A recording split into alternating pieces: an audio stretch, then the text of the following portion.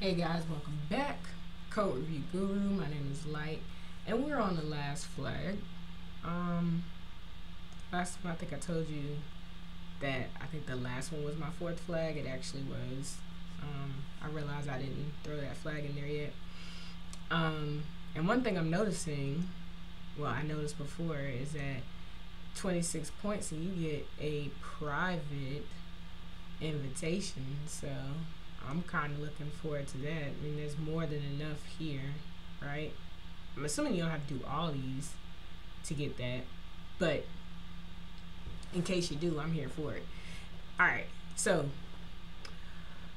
back to uh, micro CMS version one, uh, the fourth flag. Now, this one I ain't gonna lie.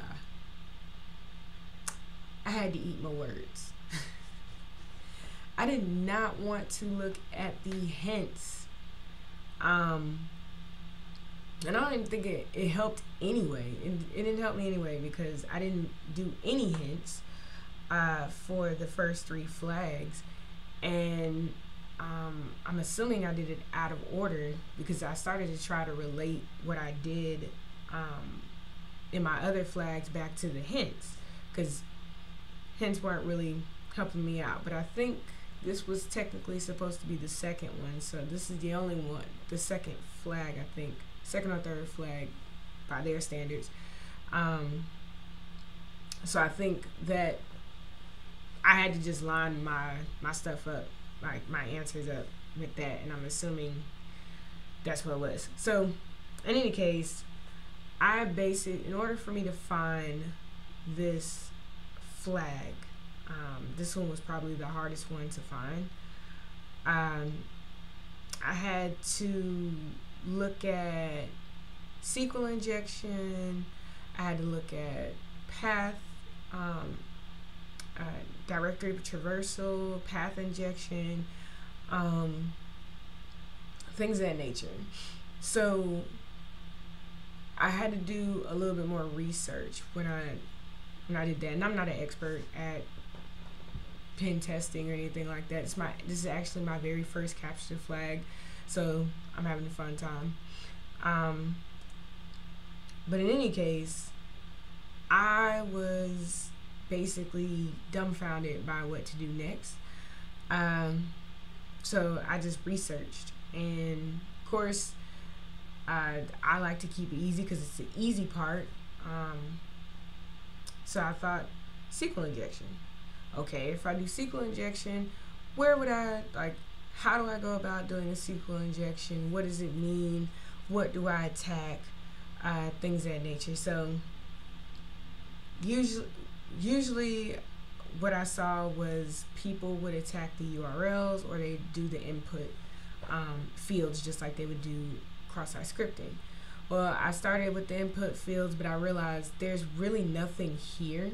Um, usually, when people do, do some type of injection of some sort, especially SQL, there has to be a database on the backside.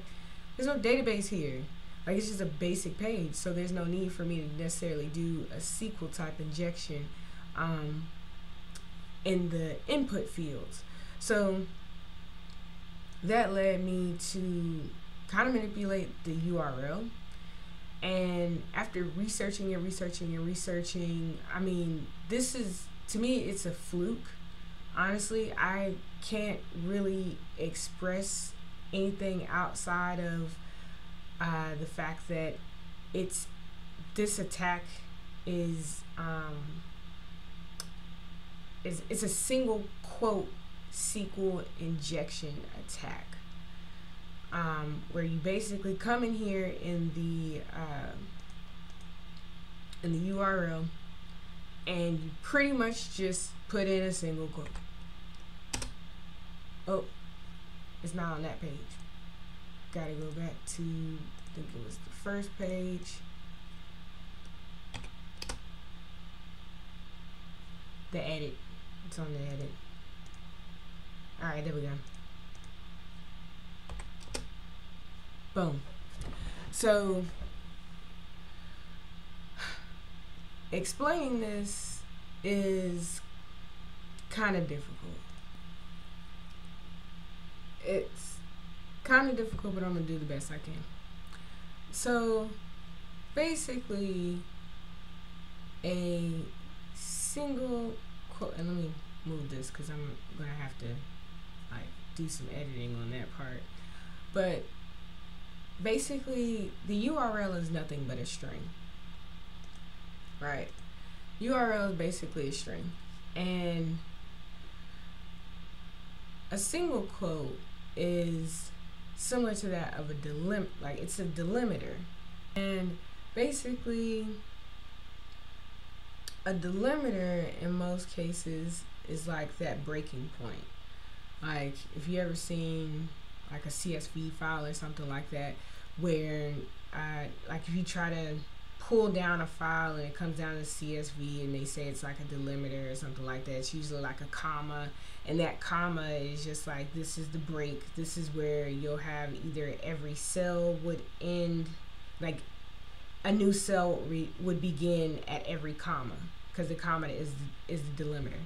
So in this case, a single quote is like a delimiter, in that it's basically it kind of breaks the page itself. So if I go back and I'm doing that because I don't I don't want to have to keep editing. it takes forever to edit. Oh, not the not the hints.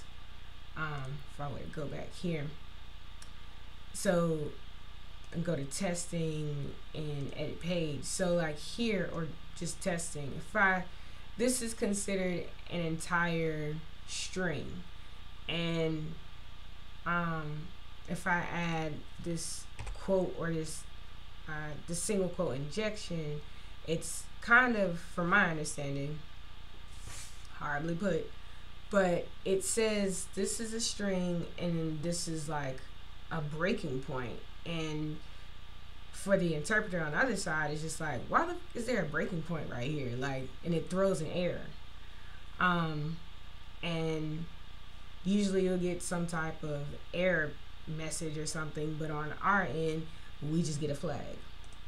So that's the best I can put that. If you have done this capture the flag and you have a better explanation, please leave a comment down below.